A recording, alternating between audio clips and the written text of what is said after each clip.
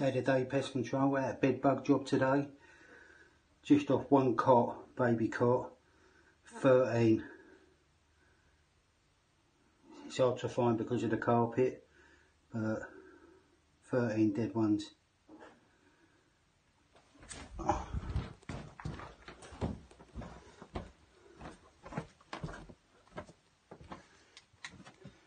There's all their faces where they was hiding, where the screws were.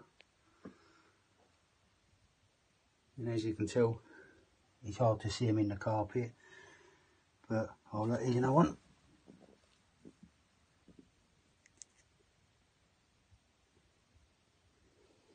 Fourteen.